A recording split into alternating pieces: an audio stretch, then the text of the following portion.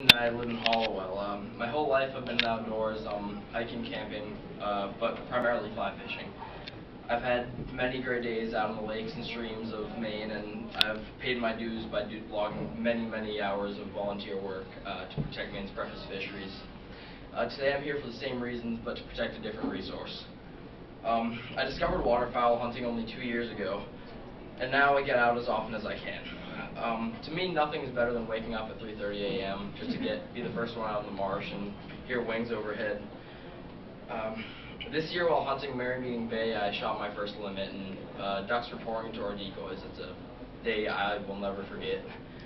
Uh, I just hope that future generations get the same opportunities that I've had, um, because it really is life changing.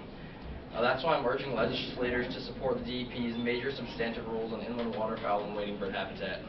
The resolve LD 1797. These rules aren't perfect. They'll loosen up some of the restrictions on development and the kinds of places ducks need and the places I love to hunt. But the Board of Environmental Protection thought long and hard about this issue and listened to all of the available science carefully. They relaxed protections for inland waterfowl and wading bird habitat, but kept the most important protections in place. This is a fair compromise. Please vote off to pass on LD 1797. Thank you.